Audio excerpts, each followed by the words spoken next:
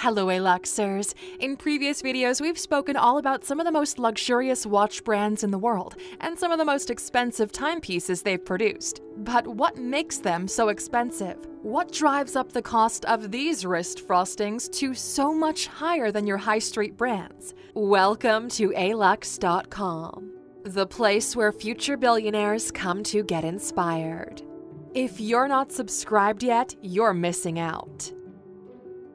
Well, as Aluxers with an eye for luxury, we know you'll be in the market for one of these classy timepieces in the future. And we've done the homework so you don't have to. Here are 10 reasons why luxury watches are so much more expensive than regular watches.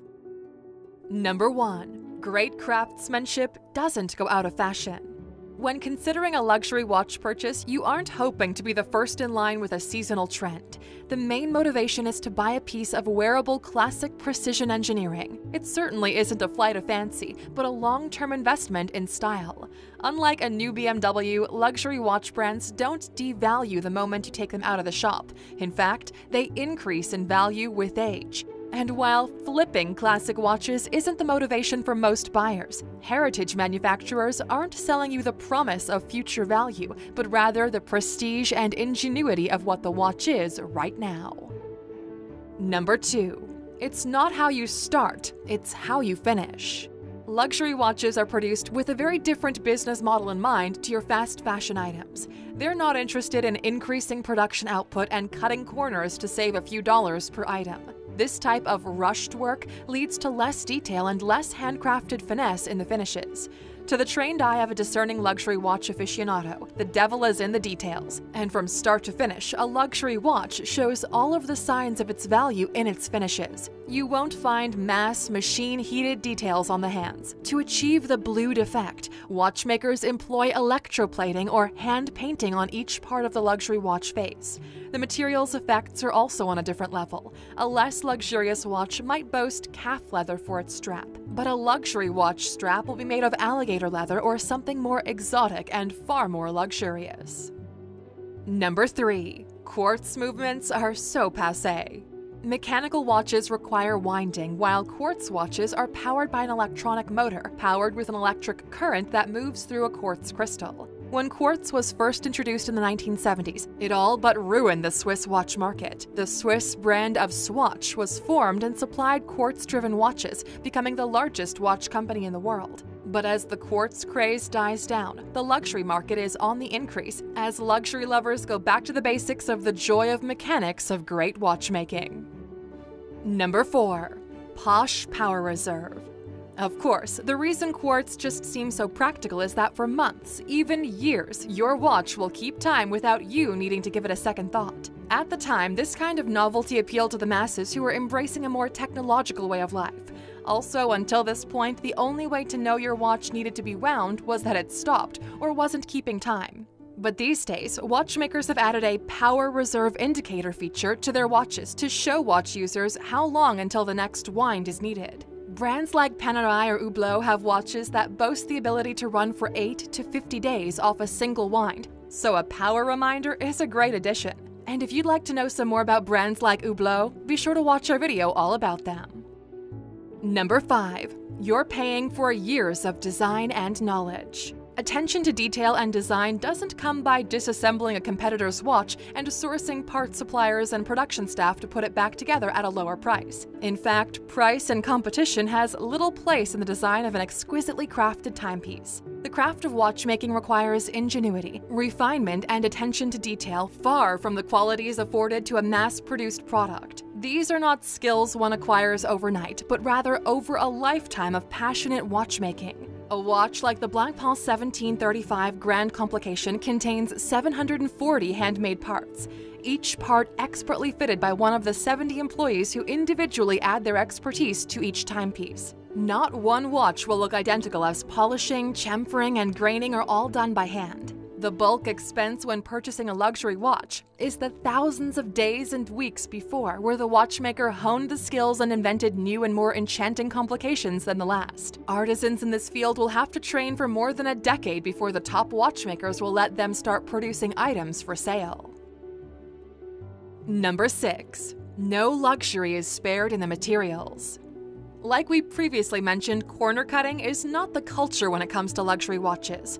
Watchmakers look to add the most premium and luxury finishes they can think of when completing a timepiece. Gold, diamonds, and mother of pearl are not afterthoughts plated on later, but are solid pieces engineered into the design. The Graff Diamonds hallucination is frosted with 110 carats of rare diamonds and fetched a price of $55 million for this once off watch. And if you want to see just how much bling can go into luxury watches, check out our video about the top 10 most expensive watches in the world for a quick summary. Number 7. Small runs means high costs. Just like fashion brands such as Supreme, there's a strong culture of limited runs in watchmaking. This gives the market only a small chance of scooping up a coveted watch, which drives up the price. In 1991, if you wanted to come buy a Rolex Daytona, you'd have to add your name to a six year waiting list. A frenzy had been created after Rolex stopped production on the Daytona for three years, and upon returning it was a bun fight for the watch.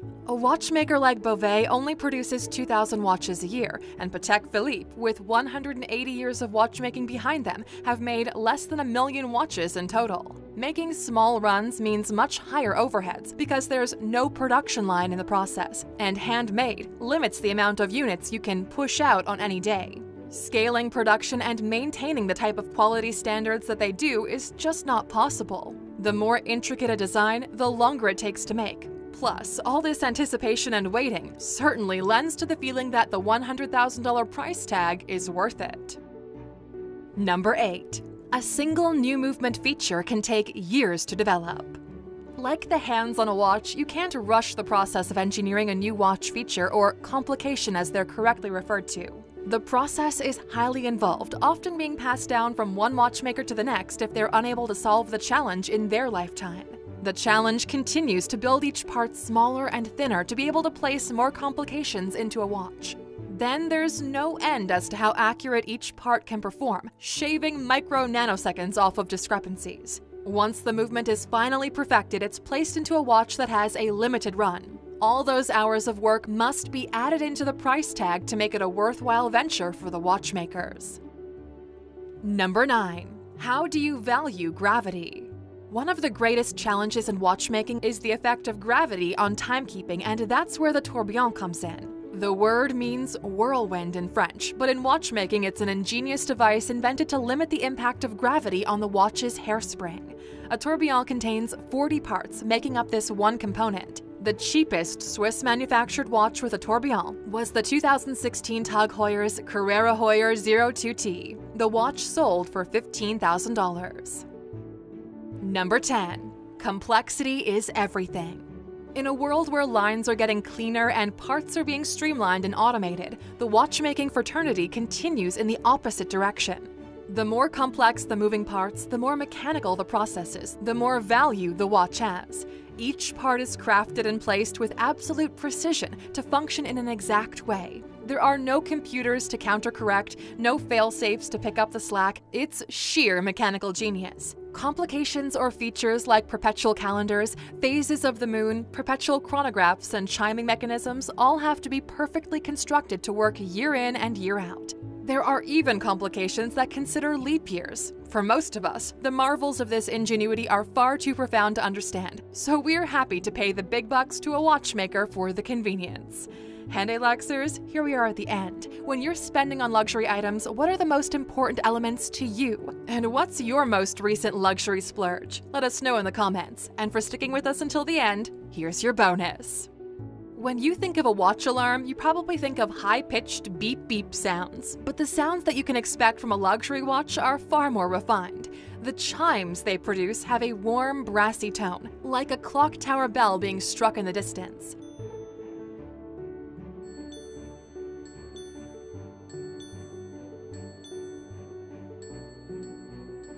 The most expensive watch sold at auction was in a class of its own when it came to chimes. The Grandmaster chime was produced by Patek Philippe in 2014 to mark the watchmaker's 175th anniversary. The watch contained 20 complications, made up of 1,366 movement components. It featured a perpetual calendar, a minute repeater, a face for a second time zone, and a leap year cycle. But the creme de la creme was the esoteric chiming mechanism. They sound like the most pure and beautiful chimes you could imagine, far from the maddening drone of a digital beep. And if that's music to your ears, hopefully the sound of the price tag of $31 million rings just as beautifully. This watch took 100,000 hours to make over the course of seven years, and it became the most expensive watch to ever be sold at auction. Thank you for spending some time with us, Aluxers. Make sure to like and subscribe so you never miss another video. We also handpicked these videos, which we recommend you watch next. You can talk to us on all social medias or ask a question on our website, alux.com. Thank you for being an Aluxer, and we'll see you back tomorrow.